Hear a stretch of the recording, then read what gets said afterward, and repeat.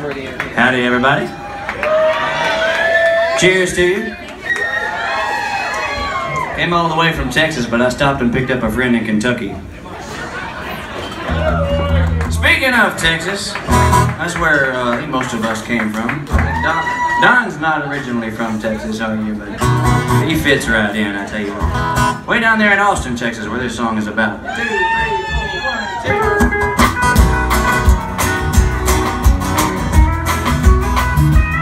Well, I was headed northbound on Interstate 35